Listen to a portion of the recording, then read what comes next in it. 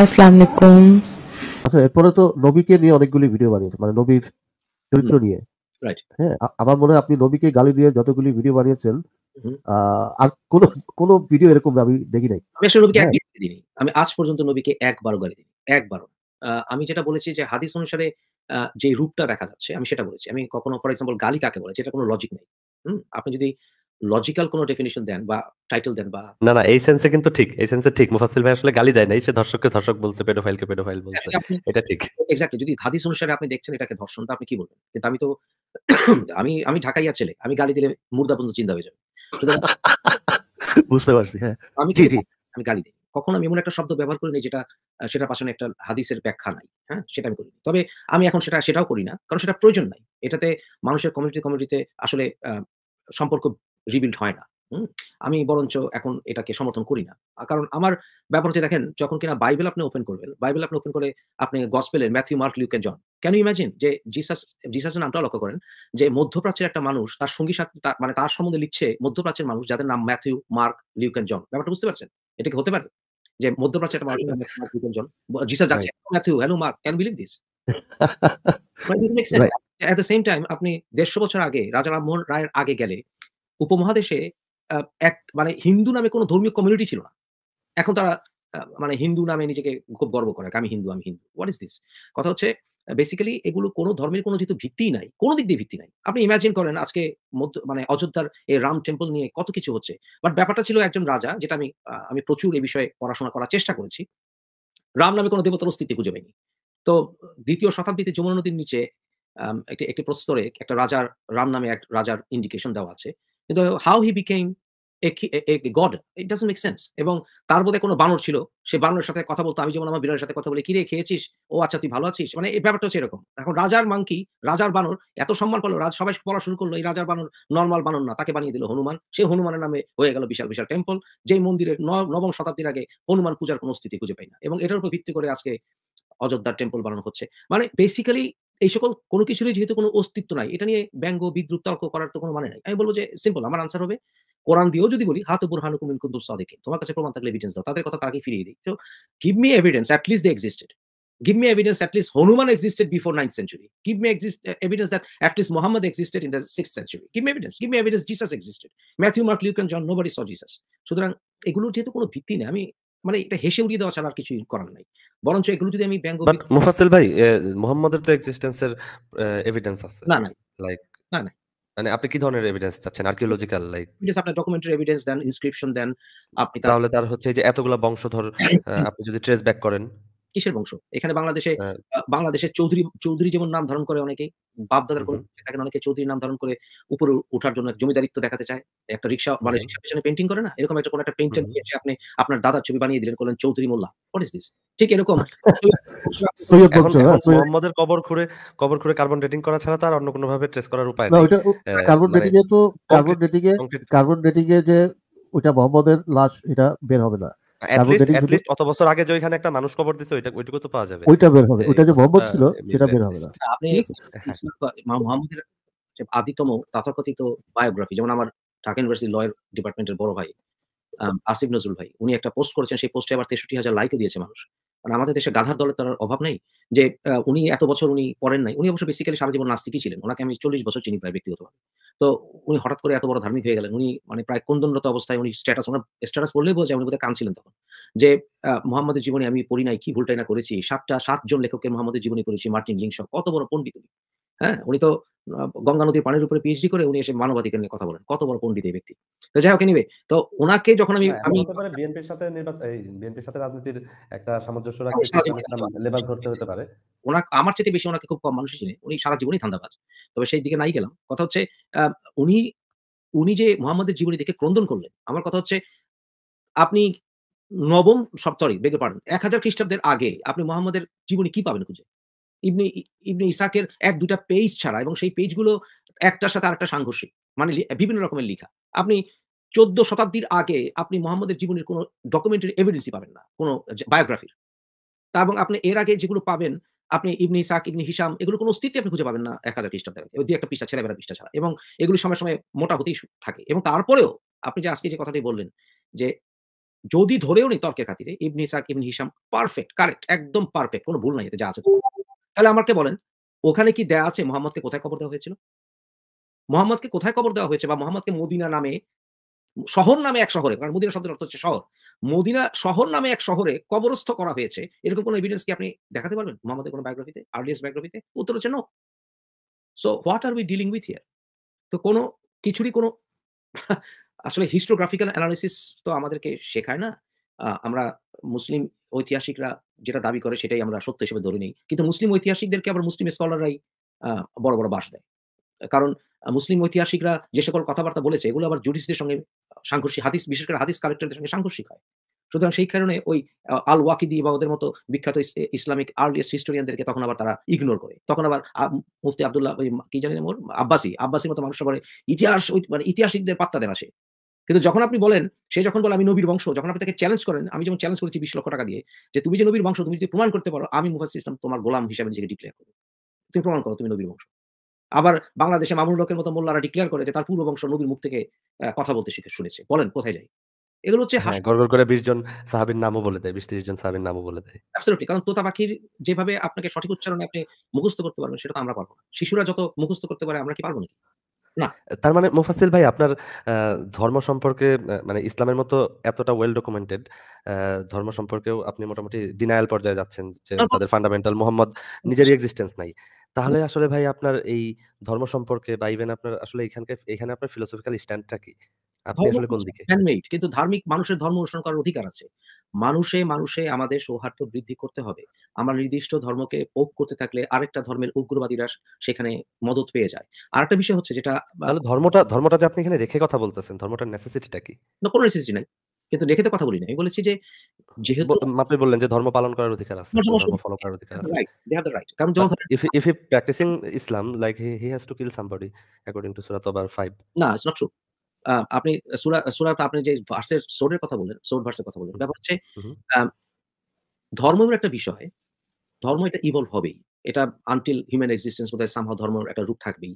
কালকে যদি আগামীকাল যদি এলিয়েনরা আমাদের প্ল্যানেটে ল্যান্ড করে এবং ল্যান্ড করার পরে যদি দেখেন আপনি দেখবেন যে তারপরেও আপনি মনে করেন সমস্ত ধর্ম কোলাপস করবে? উত্তর হচ্ছে না। এগুলো একটা নতুন ইন্টারপ্রিটেশন চলে যাবে। ঠিক একইভাবে যদি কালকে ডাক্তাররা মৃত মানুষকে জীব জীবন দিয়ে দিতে পারে, তারপরে তার একটা মানে সৃষ্টিকর্তাকে থ্যাংক ইউ দেওয়ার একটা রাস্তা খুঁজে পাবে। সুতরাং আমার কথা হচ্ছে এইটাকে ধর্মের মানুষের যে চিন্তা ভাবনা এটা আপনি বিভিন্নভাবে দেখতে পারেন। এটা অ্যাবসার্ড থিংকিং। প্রথমত অ্যাবসার্ড থিংকিং অনেক সময় দরকার হয়। এটা আলবার্ট আইনস্টাইনই বলে গেছেন যে অ্যাবসার্ট থিঙ্কিং মানুষকে বা ইমাজিনেশন মানুষকে ক্রিয়েটিভ করে। ঠিক একইভাবে সমাজে মানুষ অ্যাবসার্ড থিংকিং করবেই, ইমাজিনেশন করবেই। এটাকে আপনাকে মানে আপনার কাছে অ্যাকসেপ্টেবল না হলেও এটাই সত্য এবং এটা আমাদেরকে মেনে নিতে হবে যে মানুষ সবাই আপনার মতো বা আমার মতো অ্যানালিটিক্যাল মাইন্ড নিয়ে বড় হবে না। বা তাহলে আমরা সংস্কারের কথাটা কোথায় বলতেছি? যে আমরা আসলে এই জায়গায় সংস্কার চাই। করবে সংস্কার করবে যারা ইসলামিক, হিন্দু বা খ্রিস্টান স্কলার বা যারা রিফর্মিস্ট তারা করবে। এবং আমরা তাদেরকে চ্যালেঞ্জে ফেলব। কোথায় ফেলব? আপনি যখন আপনি আপনার একটা সেন্সিটিভ ইস্যু নিয়ে আপনি কথা বল বলবেন। আপনি সেনসিটিভ ইস্যু নিয়ে কথা বলে আপনারও একটা সোশ্যাল রেসপন্সিবিলিটি আছে। আপনাকে বুঝতে হবে যে সাধারণ মানুষ সবাই সবকিছু হজম করতে পারে না। দেখেন কিছুক্ষণ আগে যে ভিডিওটি প্লে করলেন আমার, এই ভিডিওটা আমি আজ আজকে হলে করতাম না। আমি দুষ্টামি করতাম। হ্যাঁ, দুষ্টামি এখনও ধর্ম নিয়ে করি আমি। কিন্তু আমাকে বুঝতে হবে যে 90% মানুষ যারা লেখাপড়া ঠিক জানে না অথবা যারা অ্যানালিটিক্যাল মাইন্ড ডেভেলপ করেনি, তারা যখন ধর্মের খুব সেন্সিটিভ ইস্যুটা শোনে, তারা শকড হয়। আপনি এর ভিতর থেকে কিছু মানুষকে পাবেন যারা সম্বিত ফিরে পেয়ে অথবা লজিক্যাল মাইন্ড ডেভেলপ করে ধর্ম ছেড়ে দিবে। পাবেন। আমিও পেয়েছি বহু। কিন্তু বাকি যারা মনে করেন 85% তাদের তো সেই এবিলিটি টাই নাই। তখন তো তারা রিয়াক্ট করবেই। তাহলে তাদেরকে কীভাবে ইনফ্লুয়েন্স করা যায়? এই যে 85% যারা এঙ্গেজ হতে পারে না, যারা প্রোঅ্যাক্টিভ হতে পারে না, তাদেরকে ইনফ্লুয়েন্স করার রাস্তা আমাকে খুঁজতে হবে। সেটা কি? তারা প্রত্যেকে কোনো না কোন জ্ঞানী লোককে প্রত্যক্ষ বা পরোক্ষভাবে অনুসরণ করে। সেটা তার নিজের মেট্রিক পাস ছেলেও হতে পারে। তাহলে আমার উচিত হবে ইনফ্লুয়েন্সারদেরকে ইনফ্লুয়েন্স করা। আমার যেহেতু আপনি নিশ্চয়ই আশা করতে পারেন না যে ধরুন বিল গেটস অথবা Elon Can we influence Zakir Naik? যদি কারণ ইসলামেরও প্র ১ম দিকের ইতিহাসে আপনি যদি সপ্তম না সরি ৮ম, ৯ম শতাব্দীর দিকে যান, এমনকি ভারতবর্ষের ইতিহাস দেখেন, আপনি দেখবেন যে তাদের টার্গেটই ছিল কীভাবে রাজাদেরকে ইনফ্লুয়েন্স করা যায়। যেমন মালয়েশিয়া মুজাফফর শাহকে ইনফ্লুয়েন্স করা হয়েছে। ভারতের চিরামনকে ইনফ্লুয়েন্স করা হয়েছে। তারপরে চায়নাতে চেঙ্গিস খানের সন্তানদেরকে ইনফ্লুয়েন্স করা হয়েছে এবং এটার রেজাল্ট কিন্তু দারুণ এবং ইউরোপে কিন্তু প্রোটেস্ট্যান্ট, ক্যাথলিক রাজারা রাজাদেরকে ইনফ্লুয়েন্স করা হয়েছে। ইরানের শাসক যখন শিয়া হয়ে গেল, তার ইমপ্লিকেশনে পুরো ইরান শিয়া শিয়া হয়ে গেল। সুতরাং ইনফ্লুয়েন্সারদেরকে আপনাকে ইনফ্লুয়েন্স করতে হবে। যদি আপনি সেই লেভেলের ইন্ট ইন্টেলেকচুয়াল হয়ে থাকেন। আদারওয়াইজ আমাদের যেটা আমার যেটা ভুল হয় যেমন আমি আমি আমাকে আমি আমাকে ক্রিটিসাইজ করি। আমি অনেক মানুষদেরকে মনে হয় কম বেশি ইনফ্লুয়েন্স করেছি ধর্মের ব্যাপারে বা ধর্ম ছেড়ে দেওয়ার ব্যাপারে। কিন্তু আমি যেটা ফেল করেছি সেটা হচ্ছে আমি আমার নিজের বাবা, মা আমার মা, বোনদেরকে আমি আমার ছোট বোনকে আমি সাকসেসফুল হয়েছি। কিন্তু আমার মা, বড় বোন, আমার মামারা তো বাংলাদেশের বিখ্যাত শীর্ষ ব্যবসায়ী এবং তাদের সাঁত্রিশ ৩৭ তালা বিল্ডিং এর নাম হচ্ছে মক্কা মদিনা ট্রেড সেন্টার। বুঝতেই পারেন যে তাদেরকে আমি ইনফ্লুয়েস করতে পারিনি। কিন্তু তারা কিন্তু বিশাল প্রভাবশালী ব্যক্তি বাংলাদেশে। তাহলে আমার কি উচিত ছিল না যে আমার ছয় মামার ভেতরে তিন মামাই বাংলাদেশে সিআইপি। আমার কি উচিত ছিল না মামাদের সঙ্গে বসে তারা আমি আমি ছয় মামার একমাত্র ভাগিনা। আ আমার তাদের সঙ্গে বসে ক্লোজ ডোরে আমি যে সুযোগটা আমার ছিল, মামার সাথে বিভিন্ন বিষয়ে আলাপ করতাম। আমি হয়তোবা এত গভীর আলোচনা করতাম না যে মামা আমাকে উল্টা চড় দিয়ে দাঁত ফেলে দিবে। হয়তোবা আমি ১ টা ২ বিষয়ে মামাকে টোকা দিতে পারতাম। এবং সেখানে হয়তোবা আমি আমার মামা তো ভাই-বোনদেরকে আরও ইনফ্লুয়েন্স করতে পারতাম যেটা রেজাল্ট অনেক সুদূর প্রসারী হতো। কারণ তারা আমাকে যতটুকু পেশেন্টলি আমার কথা শোনার আমি আশা করতে পারি, আমি নিশ্চয়ই Tom, Dick, Harry, Jadu, Madhu, শ্যামকে এতটুকু আমাকে তারা সময় দিবে আমি আশা করতে পারি না। বা অতটুকু পেশেন্স আশা করতে পারি না। অনলাইনে যেটা হয়, অনলাইনে একটা কথা বলি যেমন কিছুক্ষণ আগে আমি দেখলাম যে আপনি একটা মানুষকে বললেন আজকে না কালকে কথা বলেন। এই যে কথাটি বললেন, সেই লোকের সঙ্গে আপনার সম্পর্ক আমি কতটুকু গভীর জানি না। কিন্তু মনে হয় আপাতত সম্পর্ক হচ্ছে অনলাইন।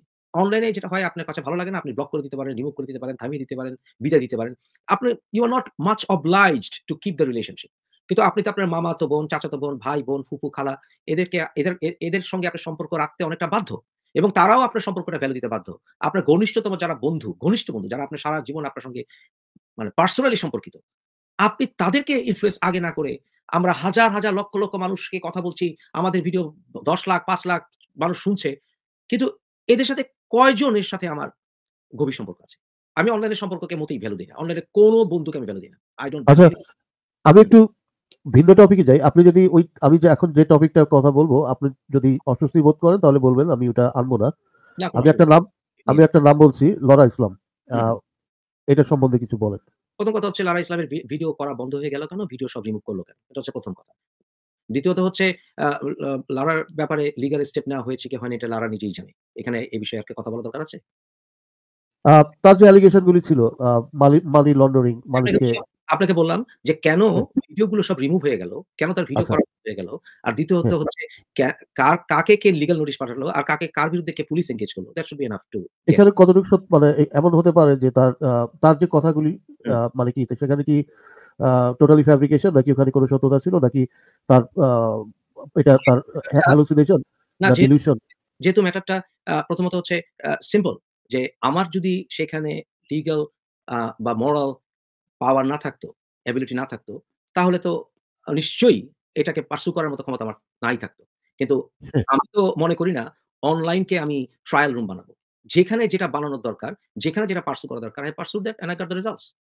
আচ্ছা, আপনি কি কখনো বাঙালি কোনো বাংলাদেশী কাউকে লিগ্যাল সাপোর্ট বা ভিসা বা এই ধরনের কিছু ব্যাপারে সহায়তা করবেন এরকম প্রতিশ্রুতি দিয়েছেন কাউকে আমি? আমি ইমিগ্রেশন ল প্র্যাকটিস করেছি ৩০ বছর। আমি আমি আচ্ছা। আমি হেল্প করব না মানে? আমি এখনও আচ্ছা। আমি এখনও একটা কানাডার one of the biggest law firm আমি জয়েন করছি আগামী সপ্তাহে। সো হ্যাঁ, এখন এটা কি প্রফেশনাল নাকি মানে আপনার অফ কোর্স প্রফেশনাল। আমি আমি একজন লয়ার। Don't forget. এবং আমি বিশ্বের আচ্ছা। শ্রেষ্ঠ ইউনিভার্সিটি পড়াশোনা করেছি। সুতরাং। ব্যাপার হচ্ছে আমি অনলাইনে যেই জীবনটা দিয়েছি, আপনাকে তো একটা কথা বুঝতে হবে। যে। আমরা ওয়েস্টে ল ফার্ম চাকরি করি বা কোনো লিগাল কেস করি, আমরা যে ফি টা চার্জ করি বাংলাদেশে এটা লক্ষ, লক্ষ টাকা মনে হয়। আপনি নিজেও সেটা বোঝার কথা। যে হ্যাঁ, হ্যাঁ, এখানে যখন একটা কেস আমরা হ্যান্ডেল করি, তখন সেই কেসে যদি ফর এক্সাম্পল আমরা $৪,০০০ ও চার্জ করি, সেই $৪,০০০ মিনস বাংলাদেশে কিন্তু ৳৩.৫ লাখ টাকা।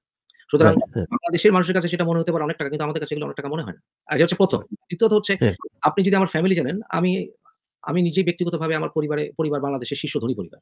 আমার আচ্ছা। আমার আমার কি প্রয়োজন আছে মানুষের সঙ্গে এই ১০ লাখ, পাঁচ লাখ, দুই লাখ, এক লাখ টাকা ফ্রড বাটপারি করার? প্রয়োজনটা কোথায়? রাইট। তো এই বিষয়ে কি মানে আমি যতগুলি শুনেছিলাম যে যেসব এগুলি কি সবই বানানো ফ্যাব্রিকেটেড বা আপনার বিরুদ্ধে অভিযোগ এছাড়া কিছু নয় যারাই আমার বিরুদ্ধে অভিযোগ করবে, আলটিমেটলি তাদেরকে খুঁজে পাওয়া যায় না কেন অনলাইনে? কেন তারা ভিডিও রিমুভ করবে? কেন তারা হ্যাঁ। কেন তারা আমি লিগাল নোটিশ পাঠালে উল্টো বাংলাদেশে ভাগবে? ব্যাপারটা বুঝতে পারবেন? হ্যাঁ, হ্যাঁ। মানে সলিড যদি এভিডেন্স থাকতো তাহলে তো মানে আপনার বিরুদ্ধেও চার্জশিট আনা যেত হ্যাঁ। আপনারা আমাকে ১৭ বছর প্রায় অনলাইনে দেখছেন। আপনারা কি বলতে কখন আমি গায়েব হয়েছি বা চেহারা লুকিয়েছি? বলতে পারবেন? না, না। আমার দীর্ঘতম সময় কেউ অনলাইনে কন্টিনিউ নেই। আমি ১৭,৫০০ ভিডিও করেছি। আমি প্রতিদিন লাইভে থাকি অলমোস্ট। এবং আমি লিঙ্ক দেই আমার সঙ্গে কথা বলার। জি। আপনাকে এই মুহূর্তেও দু মিনিট আগে বললাম যে এমন কোন প্রশ্ন নাই যেটা আমি ফেস করার মতো সাহস রাখি। হ্যাঁ, ডেফিনিটলি। না আমি এখন মানে আপনার অনেকগুলি ডিবেট দেখেছি জুমে আপনি প্রায় রেগুলার হচ্ছে হ্যাঁ। আমি যেটা করি আমাকে মনে হয় আমি আমি আজহারিতেও প্রমাণ করেছি, আব্বাসিতেও প্রমাণ করেছি। আমার কথা হচ্ছে যে আমাকে যদি কেউ অন্যায়ভাবে কোনো কিছু করে, হ্যাঁ? আমার প্রতি, আমি আগের মতো বা অল্প বয়সের মতো আমি অনলাইনে এসে তার উত্তর দেই না। আমি মনে করি সেটা ভদ্রতা নয়। কারণ online as as a lawyer I can tell you অনলাইনে কোনো কিছু প্রমাণ করা সম্ভব না। রাইট? আমি। সেটা উত্তর দেওয়া পছন্দ করি সময় মতো, জায়গা মতো, লিগ্যাল এবং উত্তর আমি দেবই। This me. হ্যাঁ, এখন তাহলে আমি অনেক সময় দেখেছি যে আপনি কিছু মানুষকে ডিবেটের চ্যালেঞ্জ দিয়েছেন। যেমন আমি একটা নাম বলি যিনি যিনি একজন ভিডিও ব্লগার যেমন আসিফ মহিউদ্দিন, হ্যাঁ? এখন অনেক উনি লাইভ করেন। এখন আপনি আপনি একটা সময় তাকে চ্যালেঞ্জ দিয়েছিলেন যে আমরা ডিবেট করতে চাই। তো। তখন বোধহয় আপনি হ্যাঁ, তো আপনার ওই সময় কনফিডেন্স কেমন ছিল যে উনাকে উনি যেহেতু খুবই পপুলার আপনি আপনি কি মনে করতেন যে ওনাকে আপনি ডিবেটে যদি নিয়ে আসতে পারতেন তাহলে আপনার ওনাকে একটা কনভিন্সিং ডিবেট আপনি দিতে পারতেন। এরকম মনে হয়েছিল? আপনার কি মনে হয় মুফাজ্জল ইসলামকে হারানোর মতো ডিবেটে কেউ ক্ষমতা রাখে? Do you think so? না, না আমি আমি জাজমেন্টাল না এবং আমি মনে করি যে একটা ভালো মানে আমরা একটা আমি। আসিফের কথা বললাম না এখানে। আমার কথা হচ্ছে আমি হ্যাঁ। ভালোভাবে মনে করি। আপনি কি মনে করেন আমাকে ইসলামের পক্ষে বা বিপক্ষে আমি যদি হ্যাঁ। ইসলামের পক্ষেও দাঁড়াই কালকে, do you think. It will be very easy to beat me? না, না। আমি আমি আমি আগেই বলছি আপনার যে পরিমাণ নলেজ, এক্সপেরিয়েন্স এবং যে পরিমাণ আমরা দেখেছি অবশ্যই এখানে স্বীকার করতে হবে আসিফকে হ্যাঁ। আমি টার্গেট করে কথা বলছি না। ও ও ওকে আমি মনে করি যে ওস ওর কোনো কিছু ভালো লাগুক না লাগুক, আমার অনেক ছোট। ওকে আমি আমি ছোট ভাইয়ের মতোই জি। করতে চাই। হ্যাঁ। আমি মুফতির আব্বাসির ব্যাপার মুফতির মাসুদের ব্যাপারেও তাই। আমি ইভেন কি আমি আসাদের আসাদকে তো আমি খুবই স্নেহ হ্যাঁ, আসাদের কথাটা যেহেতু বলছেন আমি এটা একটু হাইলাইট করতে চাই। কারণ একটা সময় গিয়েছিল আপনি হয়তো ওই আসাদ নূরকে সাপোর্ট করার প্রতিশ্রুতি দিয়েছিলেন। আমি এখন খুবই স্নেহ করি। আমি আসাদকে এখন। স্নেহ করি এবং আসাদ আসাদকে উত্তরোত্তর আসাদের সাকসেস আমি কামনা করি। আসাদ অনেক সাফার করেছে ওর জীবনে। আমি আসাদকে মুক্তি মাসুদ অনেক সাফার করেছে। আসিফ তো চাপাতির কপি খেয়েছে। হ্যাঁ? আমি তার হ্যাঁ, রাইট। সুতরাং আমার কথা হচ্ছে যে এরা সবাই সাফার করেছে। তাসলিমা আপার সাথেও কয়েকদিন আগে মানে মেসেঞ্জে মেসেঞ্জারে আ ২ একটু কথা হয়েছে। তো কথা হচ্ছে যে এনারা কে সাফার না করেছে? দাউদ হায়দারকে সাফার করেনি? কে সাফার লোপা রহমান লোপা রহমান সম্পর্কে কিছু লোপা সাফার করেছে। লোপা লোপা লোপা যখন ১ম কথা বলে দেখেন আপনাকে একটা জিনিস বুঝতে হবে। আমার বয়স কিন্তু আমি লুকাই না। বাংলাদেশের না 90% আমাদের বয়সে যারা তারা প্রত্যেকে তিন বছর মাইনাস করে বয়সে। হ্যাঁ? মাইনাস করা আছে। আমার এটা তো জানি। আমার বাস্তবে তার বয়স আমি 57 ইয়ার্স ওল্ড। আমি আপনাকে বলছি যে আমার বয়স হয়েছে। আমি ছেলে মানুষই করতে পারি না। কাদা ছোড়াছুড়ি করা আমার শোভা পায় না। রাইট? আমি এখন আমি চাইলে আমি আসিফ, মাসুদ, আসাদ ওদেরকে আমি বাজে কথা বলতে পারতাম। হ্যাঁ? বাজে কথা বললে কালকে এই অংশটা কেটে মানুষ অনেক ভাইরাল করত। এবং দেখেন, দেখেন আসাদ ভাই আপনাকে মুবাসির ভাই কি বলেছে, দেখেন আসিফ ভাই কি বলেছে। I don't need it. I don't have the time for that. এবং আমাদের সেগুলো করাও ঠিক হবে না। কথা। যে এটা শুধু কেন? এমনকি আব্বাসি যে মুফতি আব্বাসি যাকে আমি অত্যন্ত অপছন্দ করি। আমার কথা হচ্ছে মুফতি মাস আব্বাসিও যদি আমার সাথে ডিবেট আসে আমি তার সাথে সম্মান নিয়ে কথা বলব আমি তাকে কেন সম্মান করব?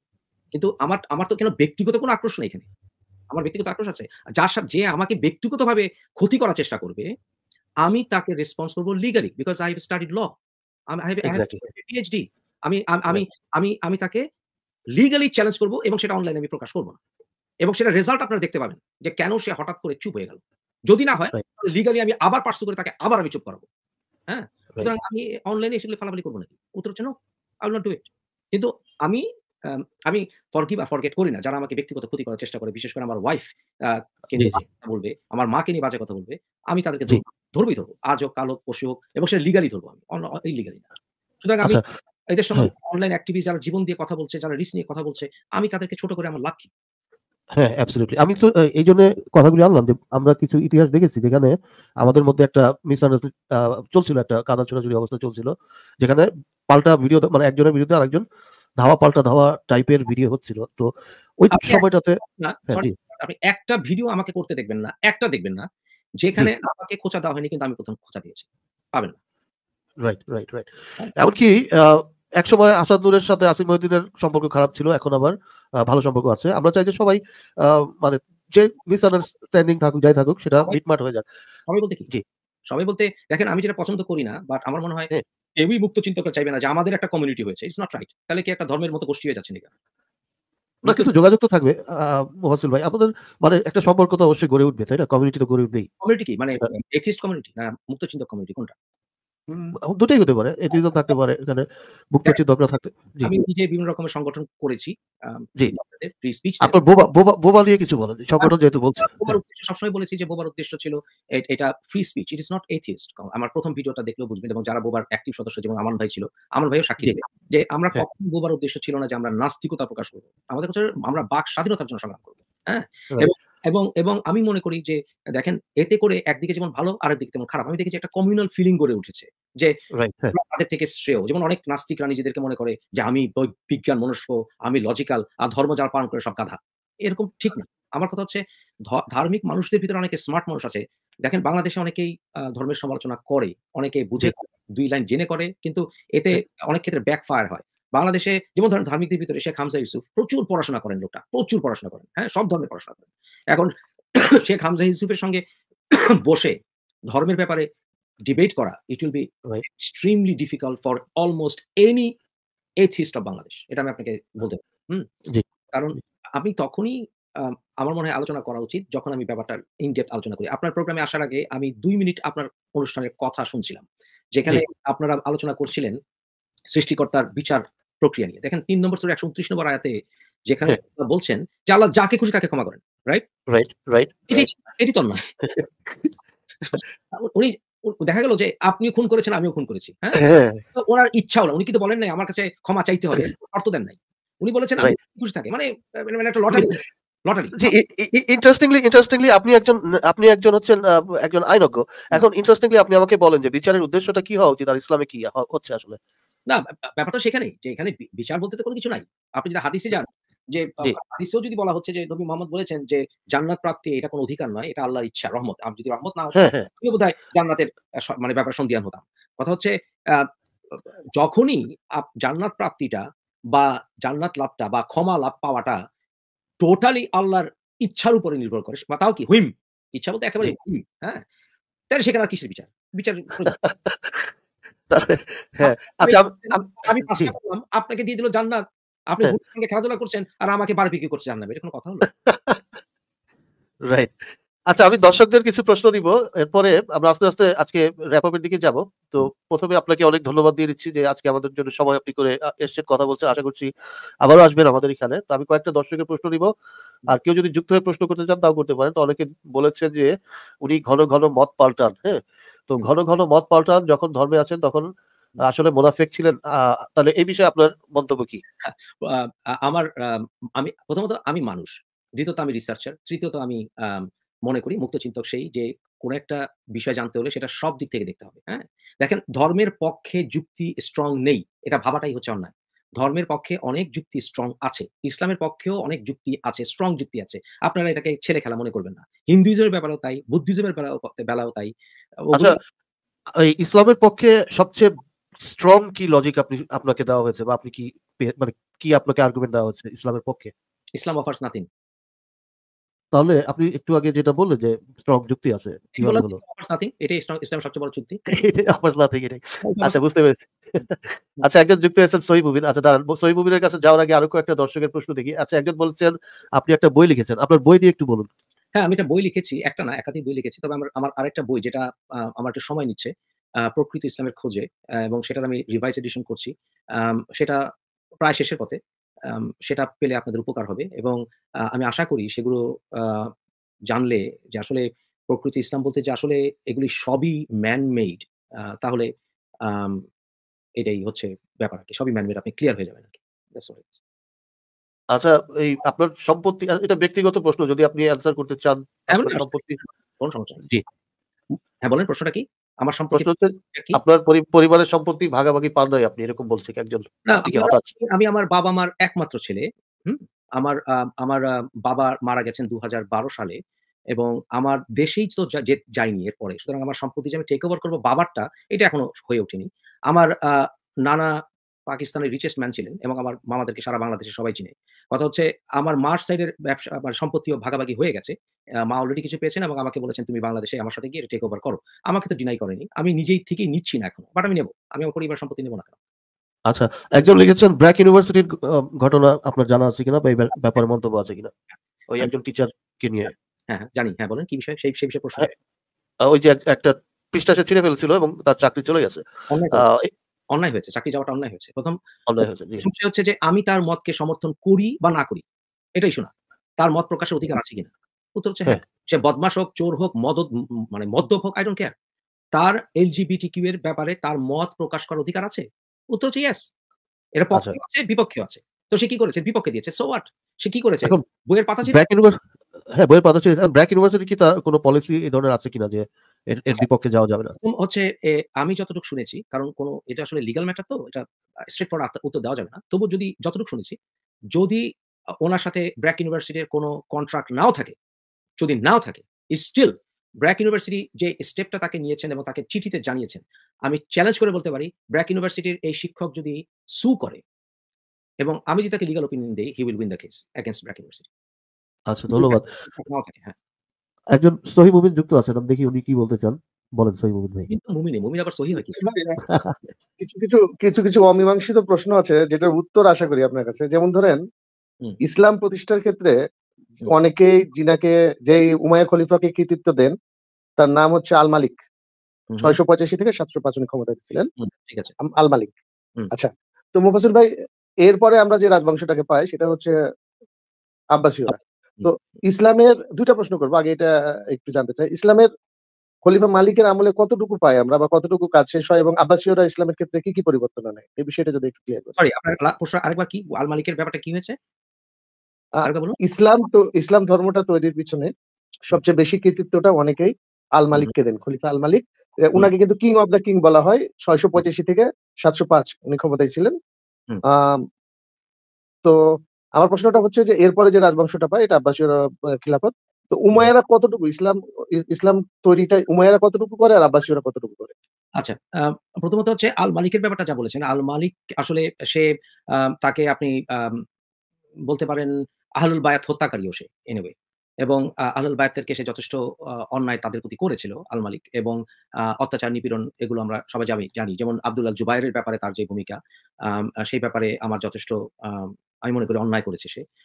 কিন্তু অপর ক্ষেত্রে উমাইয়ারা কিন্তু আসলে হাদিসের শুরু করেছিল, হাদিস সংগ্রহের ব্যাপারটি। ইবনে শিহাবের মাধ্যমে উমাইয়া খলিফারাই আসলে আয়েশার এবং আয়েশার সেক্রেটারির মাধ্যমে, বিশেষ করে আয়েশার সেক্রেটারির মাধ্যমে এই হাদিস কালেকশনগুলোর স্টেপ নিয়েছিল বলে ইসলামিক ইতিহাস দাবি করে। তো সেই ক্ষেত্রে ওখানেই অতটুকুই সে এবং ইবনে ইসহাকের যাত্রাটা আসলে উমাইয়াদের থেকেই শুরু হয়েছিল। তবে পরবর্তীতে মেইনলি এটাকে অর্গানাইজড ওয়েতে ইসলামকে বর্তমান রূপ দেওয়ার ক্ষেত্রে আব্বাসীরাই বিশেষ করে আল মনসুর খলিফারই সবচেয়ে বড় অবদান বলে আমি মনে করি। হ্যাঁ। মনসুর ওই যে বাইতুল হিকমা, বাগদাদের Baitul Hikma? Uh right, that's correct, yes. Baitul Hikma Ibn ইসহাককে sponsor করা এমনকি হাদিস কালেক্টর আ যে সিয়াসিতা বিশেষ করে ইমাম বুখারীকে স্পন্সর করা, আ ইসহাক ইবনে রাওয়াইয়া তার আন আন্ডারে যে কাজ করতেন ইয়া মুফতি, উনাকে স্পন্সর করা সব বিষয়ে তার আল মনসুরের যথেষ্ট একটা অবদান আছে। তবে আল মনসুরও আহলুল বায়াতদের উপরে নিপীড়ন করেছেন। অনেক ইসলামিক জুরিসদের উপরে উনি নিপীড়ন করেছেন। সেটাও সত্যি। আচ্ছা, ধন্যবাদ আ মুমিন মনসুর ভাই ভাইকে। যে যেটা যে আরেকটা বিষয় আপনি আমাকে যদি ক্লিয়ার করতেন যেটা হচ্ছে যে এই যে পারস্যতে যে ইসলামটা গেল, তো পারস্যের ইসলামটা আমরা শিয়া ইসলাম হিসাবে পাই। তো আমার প্রশ্ন হচ্ছে যে কি কারণে বা কিসের ভিত্তিতে শিয়া সুন্নি দুইটা মতবাদের জন্ম হলো? আসলে শিয়া সুন্নি যে বিষয়টা, এই শিয়া সুন্নির বিষয়টা শুরুটা আ কিঞ্চিৎ রাজনীতিক, কিছু কিঞ্চিৎ আ জুরিস্টিক ২ টাই। যেমন আব্বাসীদের নিয়ে কথা বলছেন, আব্বাসীরা কিন্তু আসলে আহলুল বায়াতদেরকে নিধন করেছে কথায়। হ্যাঁ? ইমাম জাফর আল সাদিকের প্রতি আল মনসুর খলিফার যে ট্রিটমেন্ট সেটা আপনি জানার কথা। না জানলে দেখে নেবেন এবং এছাড়া তাদের তাদের সন্তান প্রজন্মদের প্রতি যেই অন্যায় আব্বাসী খলিফারা করেছে সেটাও আপনার জানা উচিত। এবং সেই ক্ষেত্রে এদের যে যাত্রা শুরু, হ্যাঁ?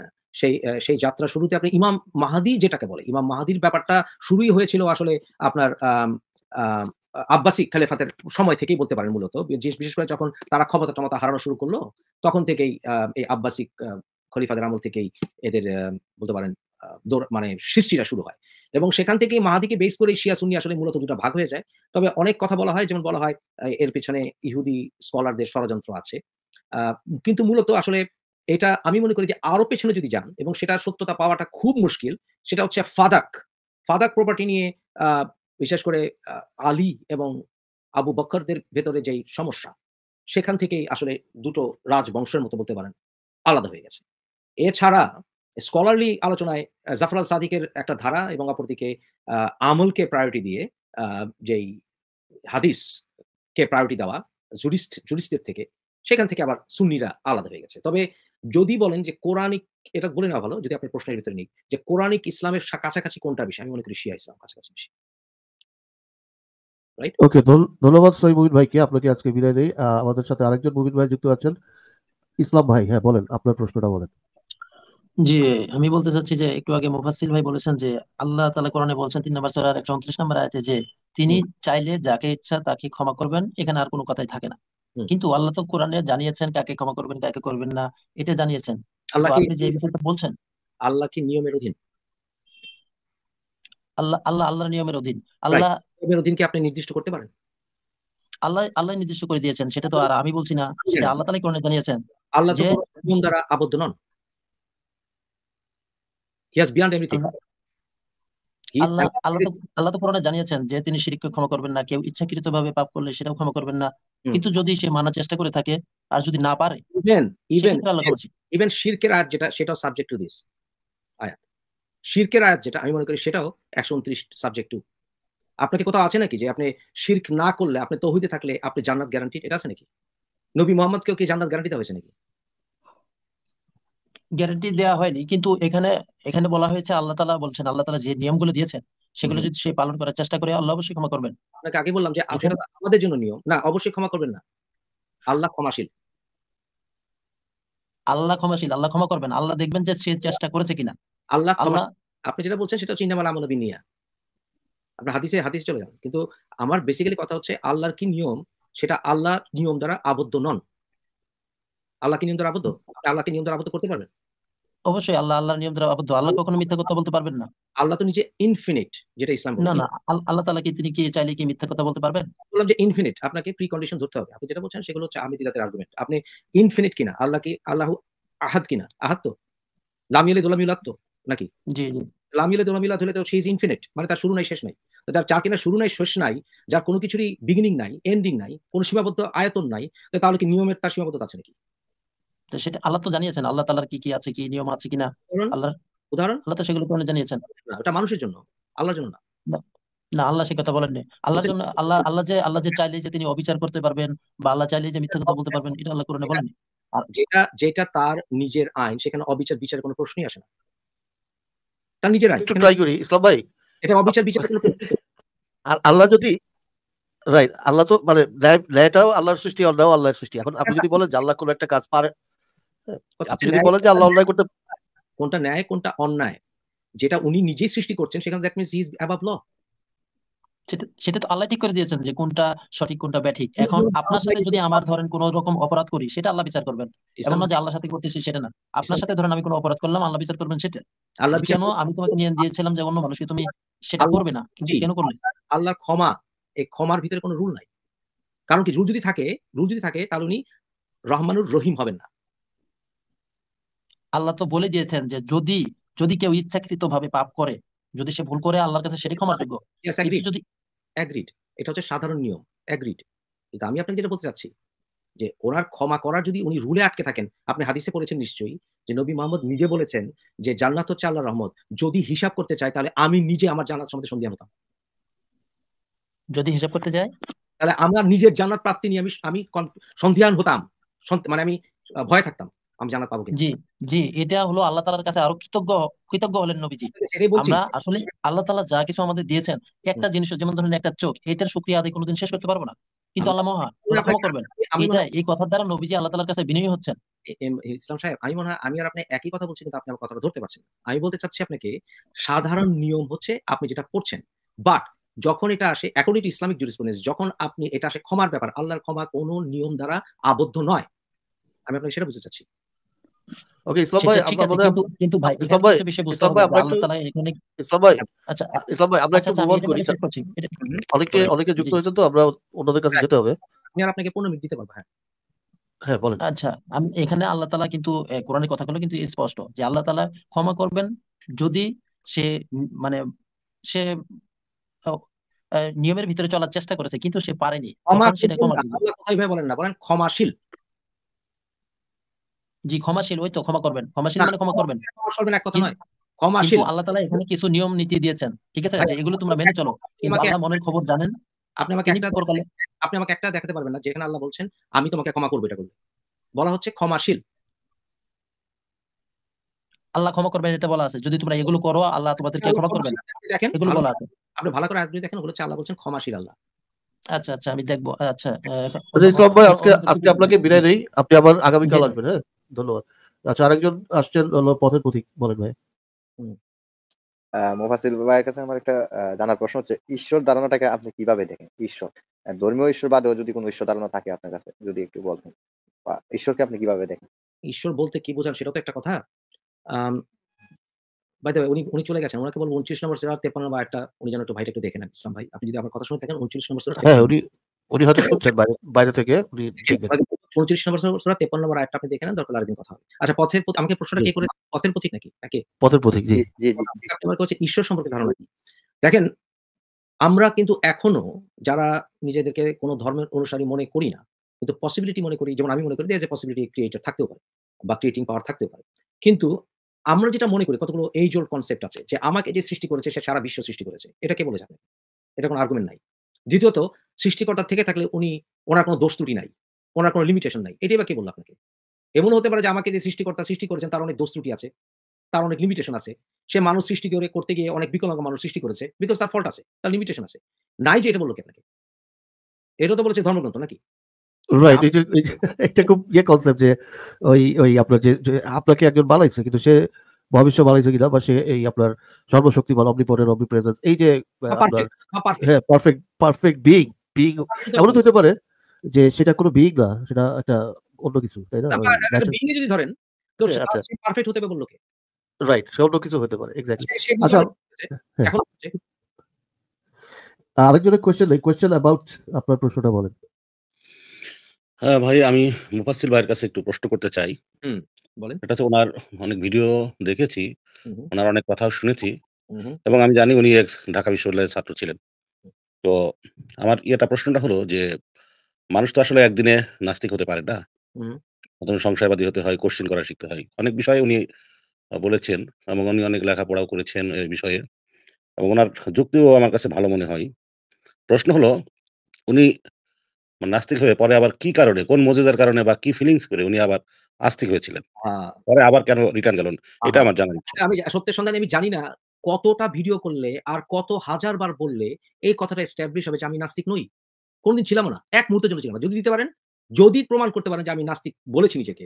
আমি ভাই কালকে থেকে আসসালামু আলাইকুম বলে আপনার বুঝতে পারছি। আপনি নাস্তিক আপনি আপনি নিজেকে ডিস্ট মানে আপনি আপনি কি কি বলতে পারেন, অ্যাগনস্টিক বলতে পারেন। অ্যাগনস্টিক আচ্ছা। আমি হ্যাঁ। নাস্তিক নই।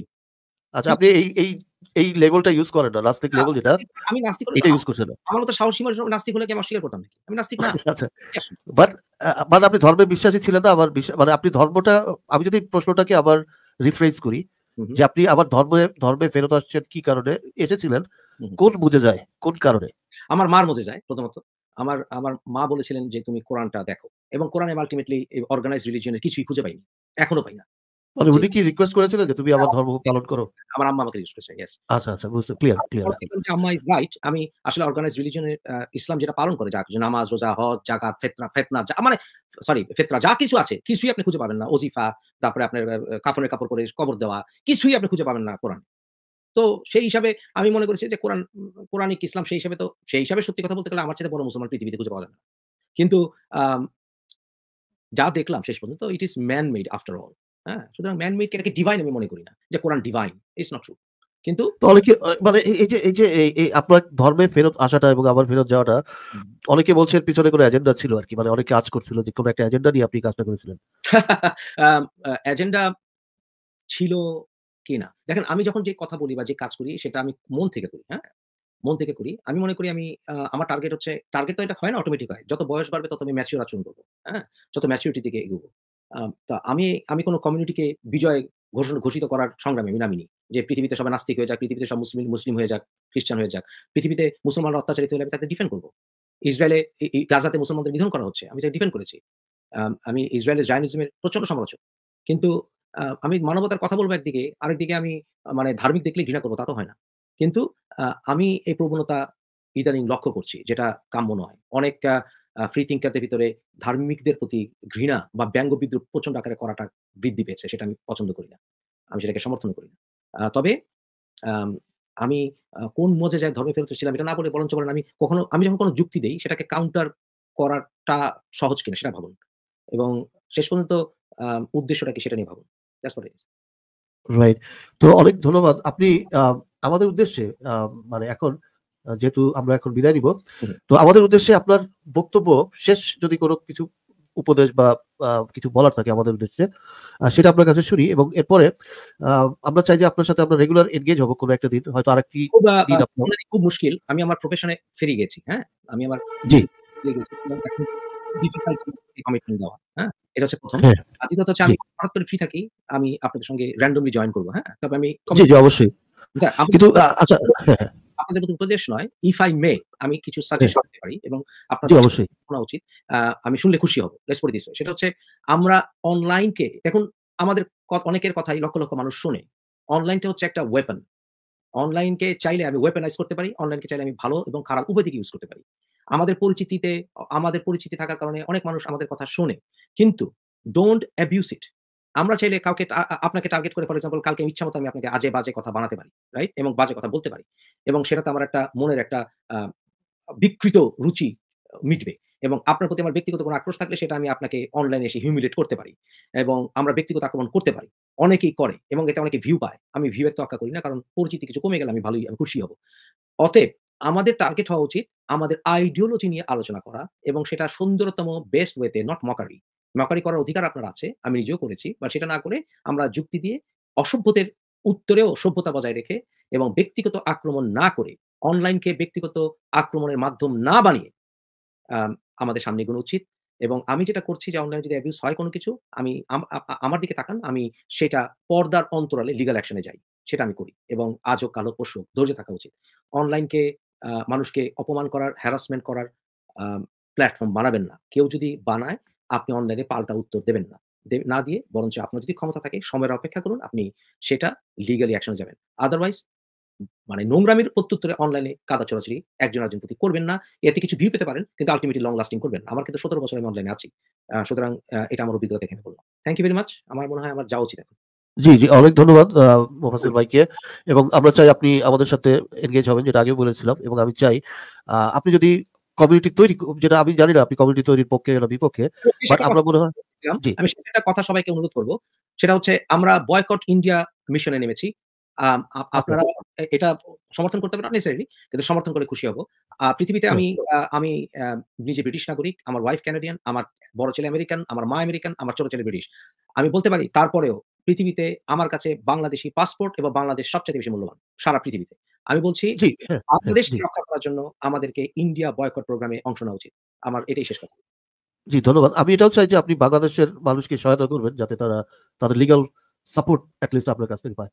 তো অনেক ধন্যবাদ আপনাকে আবারও এবং আমরা আজকে অনুষ্ঠানটি শেষের দিকে নিয়ে যাচ্ছি। তো সবাই দর্শক যারা দেখলেন আপনারা আপনাদেরকে ধন্যবাদ। আজকে যারা যুক্ত ছিলেন, আলোচনায় অংশ নিলেন সবাইকে ধন্যবাদ। আপনারা আরও বেশি, বেশি করে আমাদেরকে উৎসাহ দিন এবং আপনারা সুস্থ থাকবেন এবং আগামী পর্বে আবার আমরা আরেকজন অতিথিকে নিয়ে আসব। ততক্ষণ পর্যন্ত সবাই ভালো থাকবেন এবং সুস্থ থাকবেন এই কামনা করে আজকের মতো আমি বিদায় নিই। শুভরাত্রি সবাইকে এবং আসিফ এই ভাইকে শুভরাত্রি।